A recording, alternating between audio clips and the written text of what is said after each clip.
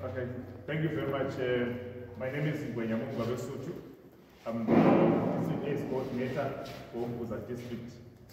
Today we're here in Tabazinduna, Ward 4, where we want to document about our key populations program.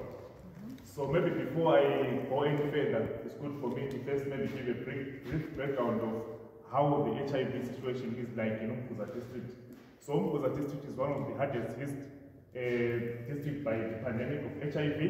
Uh, it's leading in terms of HIV incidence in the province, standing at 0.27 according to the 2023 HIV estimates.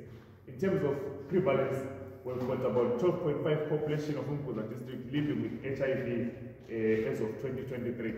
So the situation that I've just tried to, highlight, to, to highlight is showing that we are heavily burdened as a district and uh, we need to work hard in terms of trying to reach out to those uh, undetected and unidentified new infections.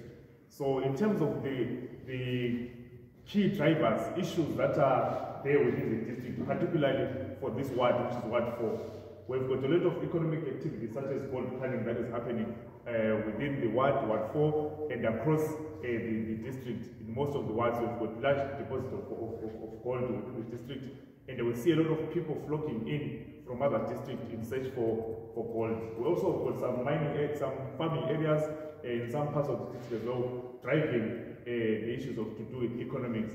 So the behaviors within the, the mining areas and the, the, uh, the farming areas are the ones that mainly uh, drive the spread of HIV.